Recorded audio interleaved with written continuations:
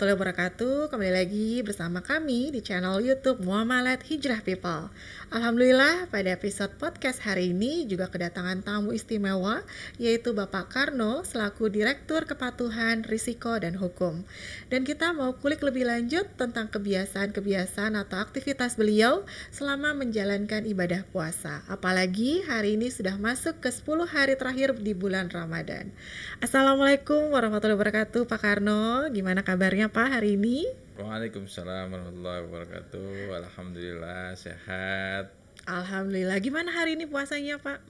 Alhamdulillah masih penuh. Masih Masih, jam berapa nih? jam 4 ya, satu Bentar jam lagi, lagi. ya, dua jam lagi ya, Eh, Insya dua jam Allah. satu jam. Oke Insya baik. Pak. Ini kan kita lagi bulan puasa nih Pak ya, lagi bulan Ramadan. Nah, Bapak sendiri gimana sih Pak memaknai bulan Ramadan ini dalam kehidupan pribadi dan juga profesional Bapak? Ya. Eh, banyak orang menganalogikan puasa itu dalam sebuah persaingan ya, pertandingan gitu ya. Tapi Hmm. pertandingan dalam Ramadan ini pertandingan yang memang eh, unik ya. Hmm. Pertandingannya nggak membuat orang sikut-sikutan, nggak membuat orang saling senggol-senggolan, Iya. ya kan? Atau bersaing yang mungkin dalam arti benar sehat ya. Hmm. Nah, karena apa? Persaingan-persaingan mencari ridho Allah, Ya. mencari derajat tertinggi yaitu takwa. Ya. Ya. Siapa yang bisa berbuat banyak di situ, pialanya pasti akan mendapat piala yang paling banyak. Siapa yang banyak mengisi waktu malam harinya untuk eh, beribadah, qiyamul lail, mengisi dengan tadarus, pastinya eh, manfaatnya akan lebih banyak dan eh, jauh lebih eh, bermanfaat untuk eh, dirinya dan pastinya eh, pahalanya akan lebih banyak lagi. Iya, jadi seperti maraton tapi untuk Iya, spiritual gitu ya betul. Pak ya, masya Allah. Dan mungkin tadi kaitan dengan bekerja ya, ya mungkin kadang eh, yang suka eh, eh, dimaknai berbeda ya antara puasa eh, dengan bekerja ini seperti apa tadi ya.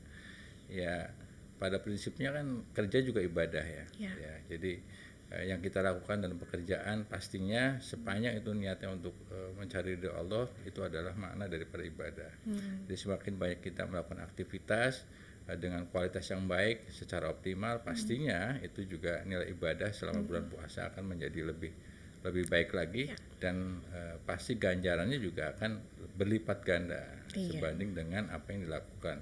Kalau itu positif, pasti hasilnya positif dan lipat gandanya secara positif Iya, juga. intinya niat ya Pak ya. Niat, Jadi betul. niat ibadah, insya Allah secara profesional juga Iya. diganjarnya juga dengan Betul, pahala yang luar biasa betul. di bulan Ramadan. Masya Allah Pak Karno. Baik Pak Karno. Nah ini kan kita udah mau memasuki eh, 10 Ramadan terakhir gitu ya Pak, ya, 10 hari di bulan Ramadan terakhir. Nah kiat-kiat Pak Karno gimana nih? Karena kan Pak Karno pasti sibuk ya secara profesional ngatur waktunya gimana nih Pak supaya 10 malam terakhir di bulan Ramadan ini kita bisa maksimal antara bekerja dan juga beribadah. Karena tadi Pak Karno sempat Iya. menyampaikan Qiyamul Lail nih Pak. Iya. Gitu ya. Tentunya 10 malam terakhir kita Iya. pengen dapat Lailatul Qadar. Nah, gimana nih Pak Karno caranya mengatur waktu Iya. supaya kita bisa apa namanya optimal selama 10 Ramadan terakhir ini? Ya. Tadi eh, tanpa mengurangi aktivitas normal kita sebagai profesional pastinya ya eh, mungkin eh, tambahan dari sisi ibadahnya mungkin kita tambah dari sisi malamnya ya kegiatan malam ya. Qiyamul Lail udah pasti ya. Ya. Eh, kita ikut taraweh terus kemudian kalau sempat kita malamnya tambah tahajud lagi ya. Terus kemudian jangan lupa ya mungkin eh, eh, ditambah dengan sholat rawatibnya. Jangan jangan lupa juga setiap kita masuk kantor itu sempatkan waktu. Mungkin kalau kita masuk biasanya jam 8 setengah 8 kita sudah di kantor mungkin kita bisa tambah dengan sholat duha. Tambah dua empat rakaat insya Allah sunnah rasul dan uh, kita doakan untuk katanya kata orang-orang alim kalau kita mau ditambah keberkahan rezeki tempat kita bekerja juga uh, lakukan secara rutin sholat duha jangan tinggalkan itu ya. insya Allah. Insya Ya. Allah. Masya mungkin itu yang kaitannya dengan tambahan ibadah. Mungkin eh, dan puasa juga memberikan kita makna untuk kita saling berbagi ya. Nah, biasanya saya sih punya kegiatan kecil tanpa bermaksud ria ya.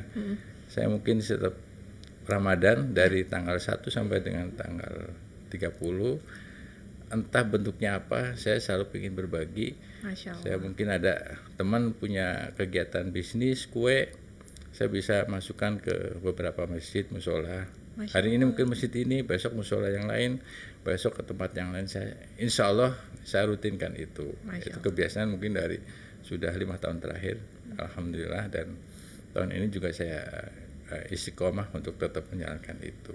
Masya Allah. Jadi perbanyak sedekah ya Pak ya Insya di Allah, bulan ya. Ramadan. Insya Allah membawa kebaikan juga untuk Iya, kita betul. semua.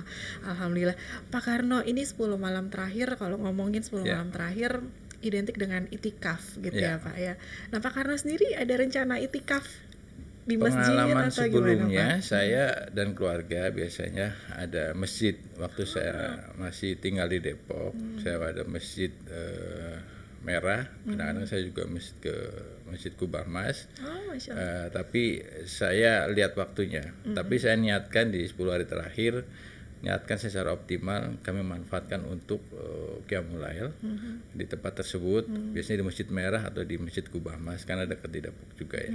Saya bawa anak-anak ke sana.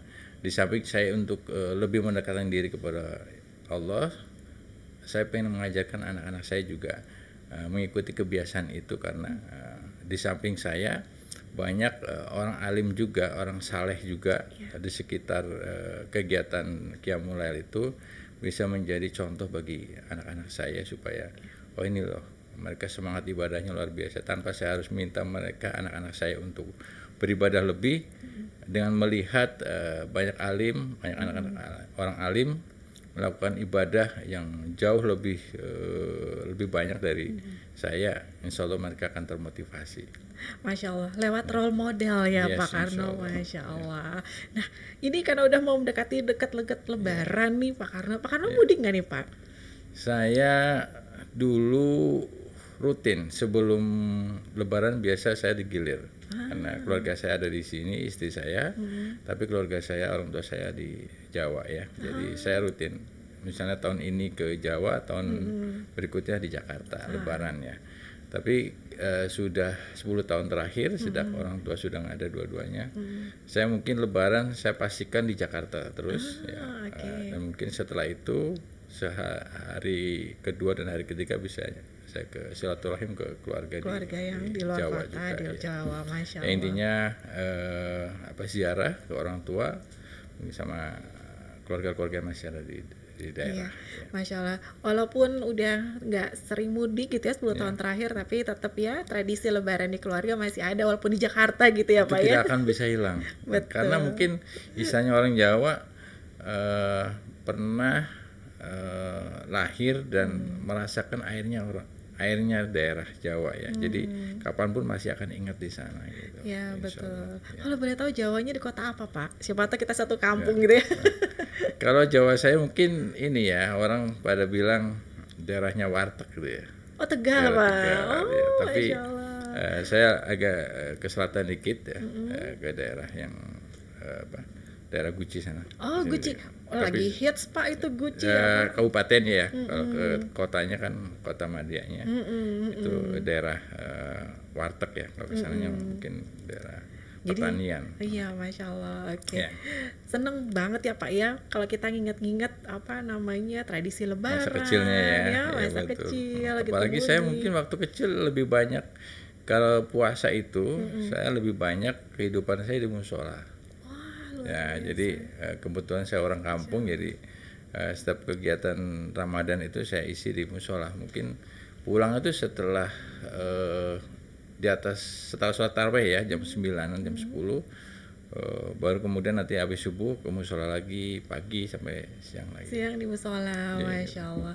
Dan itu alhamdulillah tadi Pak Kano sempat Iya. menyampaikan juga ya cerita itikaf bersama keluarga mengajak Iya. anak-anak ke masjid supaya apa yang dialami Pak Kano Iya, masa betul. kecil tetap Iya, bisa iya. dirasakan. Dulu saya begitu anak-anak juga ya. diajak bapak saya itu ke musola. Jadi akhirnya saya senang menikmati kehidupan musola. Nah, masya Allah. Nah itu tuh yang perlu kita Iya. bangun juga nih Pak. Jadi Ya pelajaran maklum buat lah namanya orang kami. kampung ya. Tapi itu juga butuh ya Pak ya di, di kota juga. Jadi Iya. pelajaran nih buat kami untuk bisa eh, membawa generasi-generasi muda kita Insya untuk Allah, iya. senang beribadah dan senang ke masjid atau ke musola Iya, gitu ya Pak. betul. Nah Pak Karno, Pak Karno kan di Bank Muamalat ini sebagai Iya. direktur eh, kepatuhan, risiko dan juga eh, hukum Iya. gitu. Nah kita ngomongin nih Pak eh, fraud gitu ya Pak. Iya. Nah fraud itu sendiri uh, memang tentunya pasti akan banyak memberikan dampak yang rugi ya, merugikan oh, iya, banyak hmm. aspek ya, nggak iya. hanya dari institusi tapi individu itu iya, sendiri. Betul. Nah dari sisi uh, Pak Karno gitu ya, yeah. melihat fraud itu sendiri gitu Pak, apa nih yang bisa Bapak yeah. sampaikan kepada kami generasi muda untuk bisa terjauh gitu ya, yeah. menghindari dari uh, tindakan fraud? Ya, yeah. uh, tentunya uh, bekal kita semua bekerja tadi uh, kalau kita niatkan semata-mata ibadah ya bekerja itu ibadah ya. Jadi kalau kita niatnya bekerja itu ibadah mencari ridho Allah insya Allah dapatnya banyak. Tapi kalau kita mencari eh, kita bekerja niatnya mencari gaji mencari pendapatan hanya itu mungkin didapatkan. Ya. nah, nah bisa jadi kita terkadang mengorbankan diri hanya untuk mendapatkan uang atau gaji tersebut atau tambahan penghasilan itu. -hmm yang bisa jadi uh, mengikis uh, apa nilai semangat orang bekerja atau bahkan mungkin integritas ya. ya. Uh, dudukan ketika kita bekerja diniatkan untuk ibadah, ketika kita mau melakukan sesuatu yang baik, Allah ridho nggak sih? Betul. Apalagi kalau kita melakukan sesuatu yang secara normatif itu adalah hmm. melanggar, Allah ridho nggak gitu. Ya. Bahkan apalagi kalau sesuatu yang sifatnya fraud, kecurangan, itu pasti Allah nggak ridho Ya. Nah, ketika Allah nggak ridho pasti nggak akan berkah. Hmm. Nah, itu yang harus uh, ditanamkan ke diri kita semua, insan di Bang Muamalah, termasuk diri saya. Saya berwasiat untuk diri saya dan teman-teman leaders, semua insan di Bang Muamalat, uh, uh, niatkan itu bekerja untuk ridho, uh, mencari ridho Allah, uh, beribadah, insya Allah akan mendapat keberkahan dan jauhi uh, uh, fraud karena fraud pastinya akan menimbulkan kerugian bagi diri sendiri, mengikis nilai-nilai yang ada di diri kita sendiri Betul. dan profesionalisme yang ada di diri kita sendiri. Nah, banyak orang gagal menjadi uh, profesional yang menduduki posisi ter, tertinggi ya hanya karena masalah integritas ya. Apalagi kita di institusi perbankan, hmm. integritas itu nomor satu ya. dan integritas menanamkan tidak mentoleransi sedikit pun terhadap namanya kecurangan atau fraud. Ya. Hmm. Ya.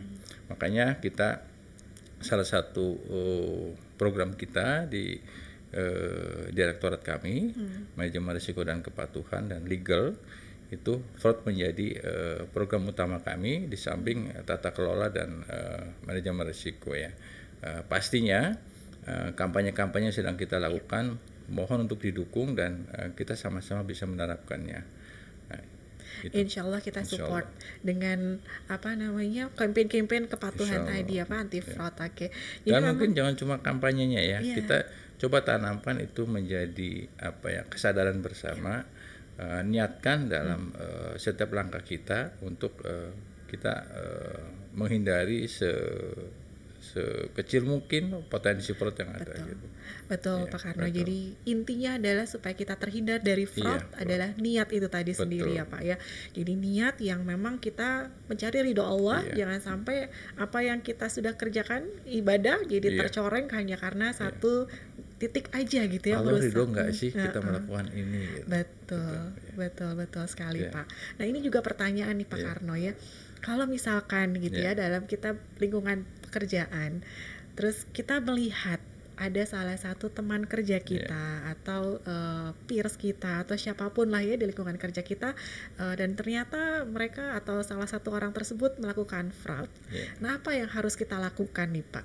Kadang kita merasa iya. takut atau sungkan gitu tuh yeah. Pak untuk melaporkan, untuk menginformasikan, memberitahukan yeah. ya tentang kejadian yang kita lihat ternyata itu adalah fraud. Yeah. Nah, apa yang harus kita lakukan, Pak Karno? Yeah uh, kita harus bisa membedakan uh, antara pada kita terjebak pada uh, posisi ah nggak enak ya hmm. kasihan ya yeah. kalau kita adukan nanti uh, ketahuan hmm. dia jadi orang yang dipersalahkan yeah. kesalahan itu adalah kesalahan tindakannya ya kita bukan ke orangnya tapi bahwa ada seseorang yang melakukan tindakan kesalahan apalagi fraud dan kita hmm. laporkan menurut saya itu sebuah uh, sebuah kewajiban moral kita juga ya. dalam rangka kita menerapkan uh, kampanye anti fraud. Hmm.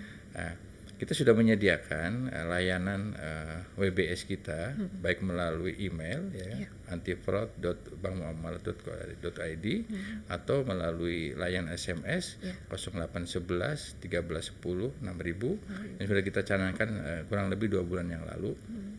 Ya, laporkan tanpa uh, tanpa ragu-ragu, tapi memang kita harus dudukan itu laporan itu harus didukung dengan data dan okay. informasi yang valid jangan gunakan layanan itu sebagai sarana untuk kita memfitnah ya. atau mengungkap sesuatu yang memang uh, sifatnya ingin menjatuhkan seseorang atau pimpinan atau siapa pun ya. ya.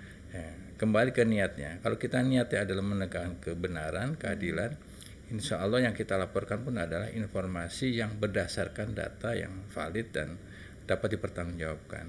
Hindari menjadi sesuatu yang fitnah ya. Nah, Okay. Ini kita khawatirkan dari awal adalah jangan sampai nanti WBS ini dijadikan sarang untuk saling menjatuhkan seseorang sehingga uh, tidak akan efektif. Mm -hmm. Sepanjang kita masih konsisten bahwa laporan yang kita adukan adalah laporan yang mempunyai bukti atau uh, data yang valid, insya Allah akan di follow up ditindaklanjuti oleh tim anti fraud yang uh, sudah kita siapkan. Iya, baik Pak Karno. Jadi ya. memang kita sebagai pelapor juga ya. harus objektif ya, ya Pak ya, jangan betul. subjektif, jangan sampai niat kita malah jadi fitnah iya, ya. Betul. Harus didukung dengan Dan Allah kan nggak suka ya fitnah. Iya ya, betul betul sekali Pak ya, fitnah lebih kejam daripada iya, membunuh ya, betul. ya Pak. Aduh astagfirullahaladzim. Tapi kalau ada kebenaran bahwa ada sesuatu tindak fraud, kejahatan, kalau memang harus dilaporkan, laporkan ya. pasti kita akan follow up. Ya, betul.